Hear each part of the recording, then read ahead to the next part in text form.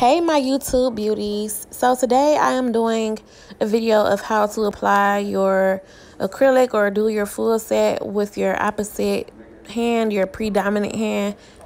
I am a right-handed person and I will be doing my right hand today. So as you can see, I just started off with um, nail prep and now I'm going there with my Young Nails primer. It's called Protein Bond. My nails have already been prepped um, as far as uh, removing the shine and doing my cuticle work. So, yeah. this video will not be in real time. So I'm just cleaning that out. And just to be on the safe side, I'm going to apply just another coat of primer just in case I wiped it off by wiping out uh, my plastic dapping dish. Um, the monomer will be Mia Secret monomer. Um, and that is a number 12 Kemeisi brush. And that is a mixture of Mia Secret um, pink acrylic with um, white glow in the dark powder. So now it looks more like a milky type of um, acrylic. So yeah, I just went in real carefully with like a not so runny ball so I could have like more control of it because doing your predominant hand is not that easy. You have to be very patient. So I decided not to work on the wetter side and even though everybody knows Mia Secret is runny, um, I'm working kind of thicker as you can see. And I just took my time with this and I'm being real gentle. And this is just my base um, for underneath my acrylic color that I will be using. And I think I'm doing pretty good. Um, one bead just to really, honestly, just to cover my natural nail. To give me something to file back down to when I apply my acrylic color. And wiping um, any excess like acrylic I might have let run over somewhere.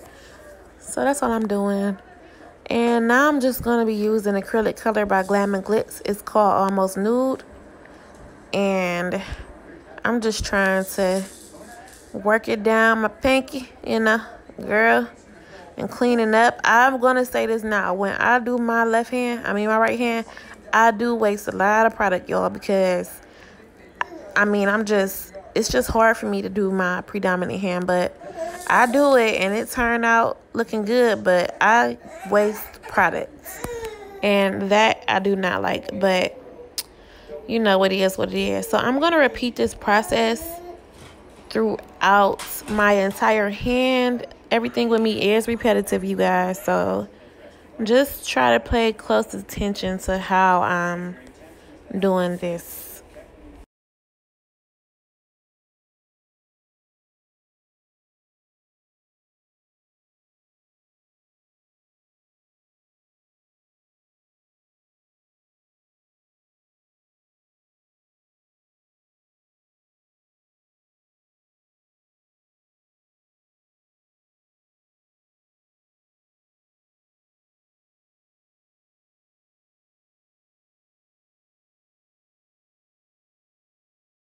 One other thing I forgot to add. So, you know how um, you do your shape before you um, lay your acrylic application? Well, after I was done prepping my nails, I got distracted and I had to tend to my daughter. So, I did not file my nail shape. All I did was cut them with the scissors or I might have used straight edge clippers. So, I'm going to have to go in and file my shape how I want it. Um, and that's important when you do your acrylic. You want to already have your shape. Um, luckily though, like with the straight edge clipper, I did kind of get some type of outline. But yeah, y'all. So I'm going to have to bring me some shape into these boys at the end of the video.